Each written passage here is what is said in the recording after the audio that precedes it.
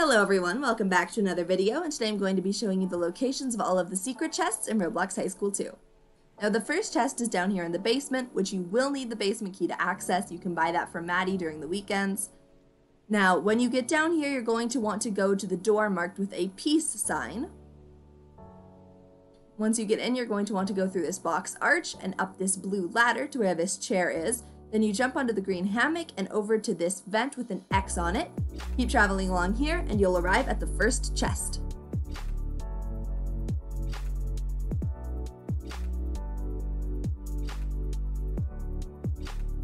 Now the next chest is located in the beach cave, so from here you're going to want to fly over to this little dark outcropping in the wall, go on and fly in.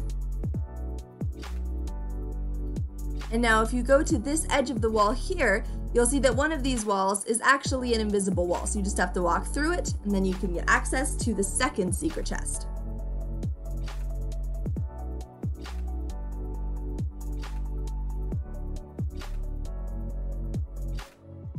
Now the third chest is located in the sewers, so again you can access this one from the beach. You just go over to this rusty little gate here.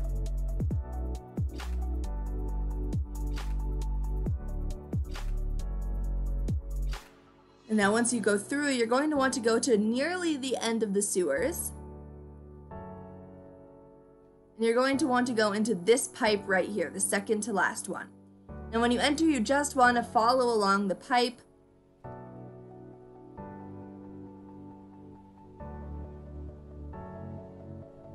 until you get to this grate. This grate is a sign that you're headed in the right direction. And keep going down the pipe until you get to this area right here where it falls off.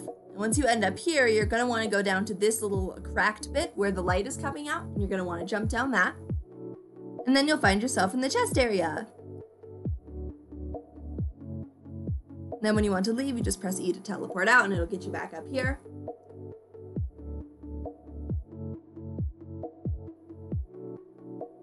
Now the third chest is located in the Enchanted Forest. So you have to go up to this tree at night and through this little white area here. You can't access this during the day.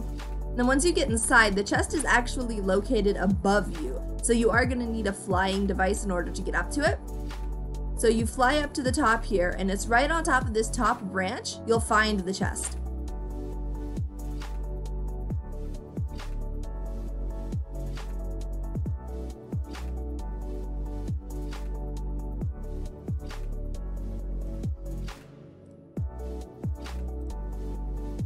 Now the final chest is located in the mines, so follow along very closely with these instructions because they can be very confusing. Now once you get in the mines, you're going to want to go through the middle doorway. You want to go past the exit to your right.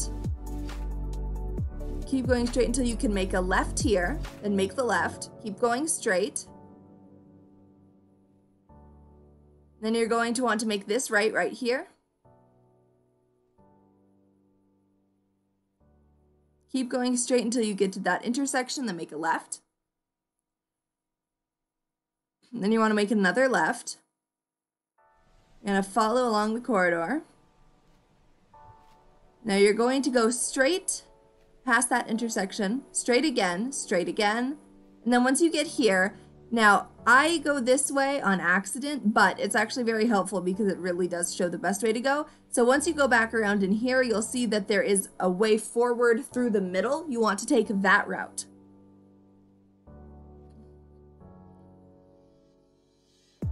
Follow along the corridor until you get here, take another left.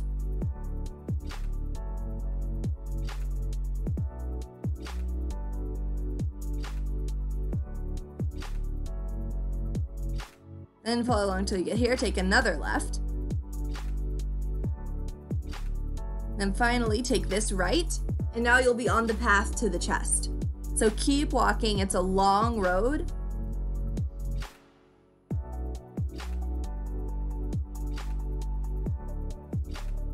And at the end, here is the final chest.